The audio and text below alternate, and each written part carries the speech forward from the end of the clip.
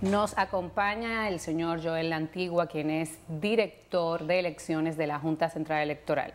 Él nos dará todos los pormenores de cómo votar de forma correcta para que usted, amable televidente, no anule su voto el próximo 15 de mayo. Buenas noches, muchísimas gracias por aceptar nuestra invitación. Bienvenido. Gracias, Lenny. Y como siempre, estoy dispuesto a responder cualquier tipo de pregunta y para mí es el honor de estar aquí acompañándola. Gracias, el honor es nuestro y sobre todo para que nuestro público pueda tener la facilidad, las instrucciones correctas de una fuente autorizada y conocedora de todo lo relacionado con las elecciones, como es usted, director de elecciones de la Junta Central Electoral. Pero antes de entrar en este tema, nosotros queremos conocer un poco y que nuestro público conozca también sobre su perfil profesional y la trayectoria que tiene en el manejo de los temas electorales.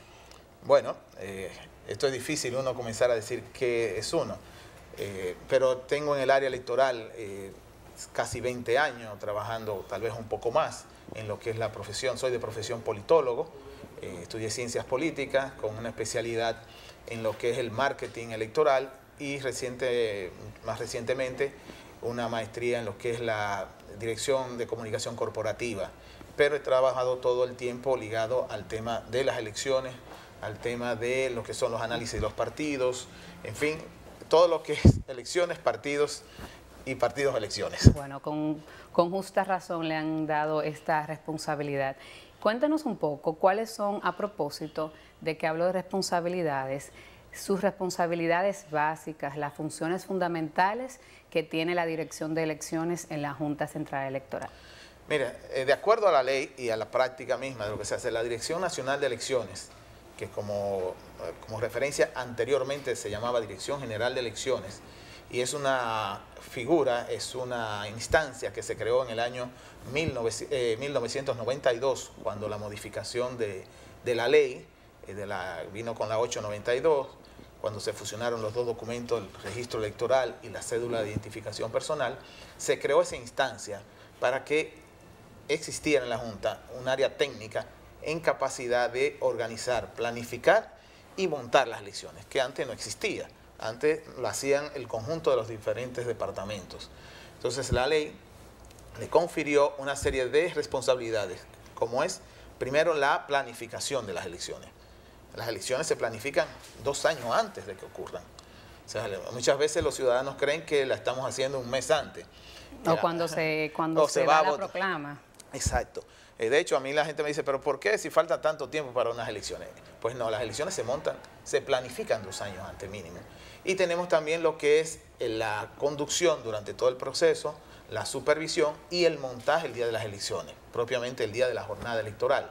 Claro, todo esto bajo la supervisión y dirección del Pleno de la Junta Central Electoral, pero específicamente bajo la conducción de la presidencia de la Junta Central Electoral, de conformidad como establece la ley. Me imagino que también eh, interrelacionada con los partidos políticos que tienen eh, participación en cada una de las etapas de lo que tiene que ver con las elecciones. ¿Es sí, así? Sí, correctamente. Los partidos juegan un papel importante y tienen diferentes espacios dentro de la Junta Central Electoral y en las juntas electorales. Tenemos un delegado, los partidos tienen un delegado político ante la Junta Central Electoral, tienen delegado técnico ante el centro de cómputo y delegado técnico ante la dirección de elecciones. Y a su vez tienen delegados políticos en las juntas electorales. Por ende, eh, tienen presencia y con ellos se trabaja de manera continua. Ellos tienen un mecanismo de evaluar los avances del cronograma, porque cada tres meses, en el periodo que no está cerca las elecciones, debemos rendirle una especie de informe de evaluación de cómo marchan los trabajos ya cuando se acerca el periodo, eh, después de la proclama específicamente, se trabaja de manera continua con ellos, eh, revisando los formatos de boletas, revisando procedimientos, revisando lo que son instructivos. Hay una multiplicidad de tareas en las cuales ellos intervienen y se requiere su opinión y su consulta. En el caso de la decisión del escrutinio, cuando se decidió de que iba a ser de manera electrónica, participaron los partidos. Sí, este es una, el tema de automatizar el escrutinio es un tema que viene de ya hace más de un año.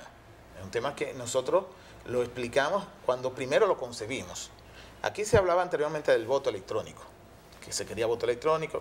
Ahora, nosotros entendemos que lo primero y lo más factible es automatizar procesos y que la gente siga votando con su papeleta eh, su, tradicional. tradicional, con su boleta en papel porque romper culturalmente lo que ha sido una tradición toma tiempo. Claro, pero vamos a seguir en ese tema después del segundo bloque.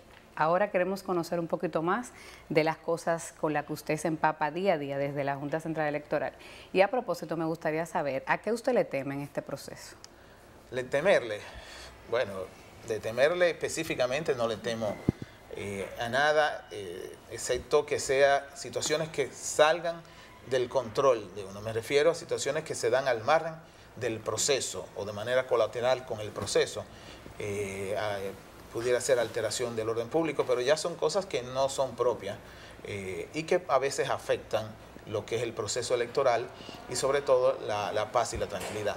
Pero de temer como tal, no, nosotros nos sentimos seguros de lo que hemos hecho, de lo que hemos planificado, de lo que hemos organizado y ya lo que estamos ajustando al día de hoy son aquellos detalles en los que tenemos que afinar eh, cosas muy puntuales para las elecciones. Mañana tenemos eh, actividades propias de seguimiento con las juntas electorales, se le da seguimiento por la vía telefónica, se les responden situaciones de consulta, pero de temer per se no diría. Qué bueno, eso da tranquilidad y confianza a todos los dominicanos. Finalmente, ¿cuál sería su mayor satisfacción al concluir o lo que usted espera concluido el proceso electoral del próximo domingo 15 de mayo? Mira, eh, para mí en lo personal la satisfacción, y creo que institucionalmente también, es que el proceso resulte de conformidad como lo hemos concebido. Primero, que es apegado a las normas, a la normativa jurídica, y segundo, que todos los ciudadanos y ciudadanas que están en capacidad de votar, es decir, los que están en el registro de electores, puedan acudir puedan ejercer su derecho al voto sin ningún tipo de inconveniente, que se puedan dar los resultados como lo tenemos previsto, de manera rápida, segura, transparente y confiable, y que al final el proceso en su conjunto sea un proceso de participación democrática, donde todo el mundo tenga el derecho de expresar su posición a través del voto, su preferencia, decidir quiénes van a ser las autoridades que quieren que lo dirijan y que este resultado sea acatado, sea entendido por las diferentes fuerzas políticas y todos los actores del país.